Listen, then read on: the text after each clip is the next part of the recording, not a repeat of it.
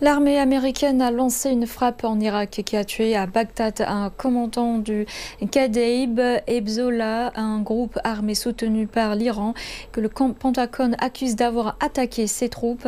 L'armée américaine déclare dans un communiqué que ses forces ont lancé mercredi soir une frappe unilatérale à Bagdad.